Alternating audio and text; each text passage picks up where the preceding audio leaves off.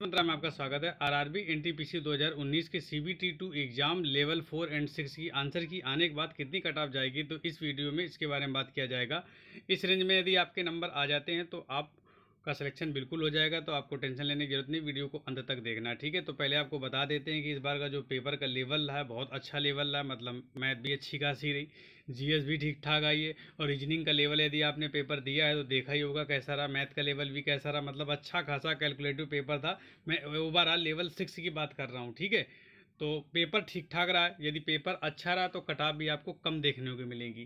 ठीक मैंने बहुत सारे कैंडिडेट से बात किया है क्योंकि मेरा खुद का एग्ज़ाम था तो मैंने वहाँ भी कैंडिडेट से बात किया था सेंटर पे जा कर के और आ, मैं वीडियो नहीं बना पाया था तो मैंने शाम टाइम अपना खुद का एनालिसिस डाला हुआ था। तो मैंने बहुत सारे कैंडिडेट की बात करने के बाद ये अनुमान लगाया है कि इतनी कटाप जाएगी इतने नंबर हैं आपके तो आपका सलेक्शन हो जाएगा। तो देख लेते हैं कितनी कटाप जाने के चांस हैं। तो वीडियो को अंत तक ज़रूर देखें। तो भैया यू आर कैंडिडेट की यदि बात की जाए तो यहाँ पर आप 75 टू 80 के रेंज में रहेंगे। हाँ एक चीज़ और बता देते हैं कि ये भैया जो कट ऑफ़ मैं बता रहा हूँ तो ये ऑल ओवर इंडिया बेसिस पे ऐसा नहीं कि किसी पर्टिकुलर जोन की मैं बात कर रहा हूँ। जहाँ पर वैकेंसी बहुत कम है तो ये मान के चलिए कट ऑफ़ इससे ज़्यादा जा सकती है। जहाँ पर वैकेंसी कम है तो कट ऑफ़ ज़्यादा जाएगी। जहाँ पर ज़्यादा वैकेंसी है तो इससे कम भी कट ऑफ़ जा सकती है। तो आप टेंशन मत लें, आप पाँच नंबर प्लस माइनस लेकर चलें। जितने मैं कट ऑफ़ बताऊँगा, उसमें प्लस माइनस के पाँच नंबर रखिए, ठीक है? तो यूआर की यदि हम बात करें तो सेवेंटी फाइव टू एट्टी के रेंज में यू आर की कट ऑफ़ जाने के चांस हैं।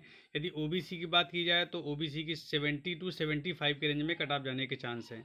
अब बात कर लेते हैं आगे तो ई डब्ल्यू एस की यदि बात करें तो sixty five to seventy number यदि आपके आ रहे हैं तो आपका ई डब्ल्यू एस कैटेगरी में सिलेक्शन हो जाएगा, ठीक है?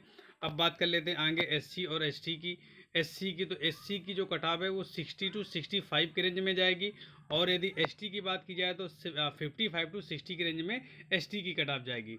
तो अभी भी मैं बता रहा हूँ कि यदि आपके प्लस माइनस के पाँच नंबर आ रहे हैं तो आप बिल्कुल टेंशन न लें। आपको पता है कि नॉर्मलाइजेशन का यहाँ पर प्रोसेस कुछ होने वाला नहीं है।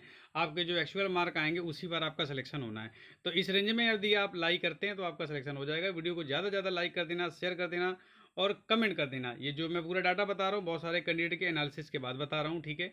तो वीडियो को लाइक कर देना और चैनल पर नए हैं तो चैनल को सब्सक्राइब करके सपोर्ट कर देना। Thanks for your time